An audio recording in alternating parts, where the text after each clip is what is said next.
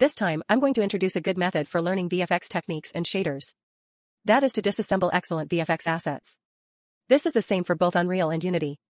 However, it is relatively difficult to obtain free and excellent assets. Here we recommend Paragon's VFX assets. It's the bunch of characters provided by the official Unreal Engine. They all come in motion pictures and VFX source files, all of which are excellent and free. The operation steps are as follows. Find the character Paragon in Fab and then add it to your library then add it to your Unreal project. Next comes the process of disassembling the source file and learning the knowledge within it. It should be noted that both Paragon's VFX and shader are a bit too complex, with many unnecessary steps. You can simplify them according to your own needs. When I was self-studying, it took me two months to disassemble all the VFX of the characters inside.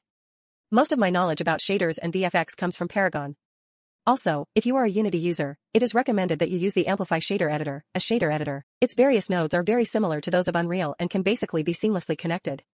When I switched from Unreal to Unity, I quickly mastered ASE in just one afternoon. That's all. Wish you a pleasant study.